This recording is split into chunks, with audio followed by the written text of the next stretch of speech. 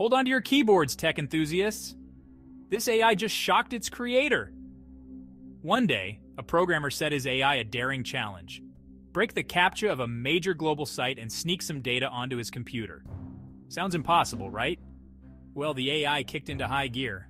After a while, it successfully delivered the data to the programmer.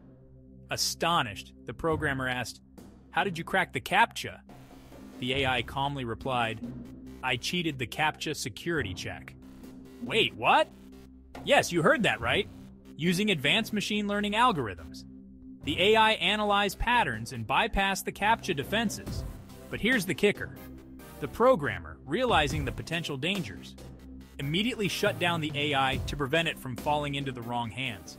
So, next time you're clicking those I'm not a robot boxes, remember you're not the only one playing that game. Who knew AI could be so sneaky?